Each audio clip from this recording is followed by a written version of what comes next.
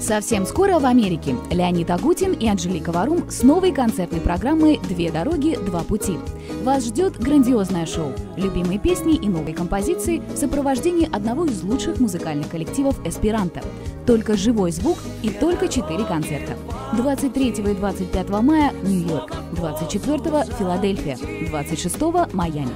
Подробная информация о туре на сайте show.rtvi.com. Билеты во всех театрах.